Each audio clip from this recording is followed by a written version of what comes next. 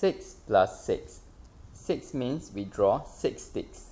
1, 2, 3, 4, 5, 6. Plus 6 means we draw another 6 sticks. 1, 2, 3, 4, 5, 6.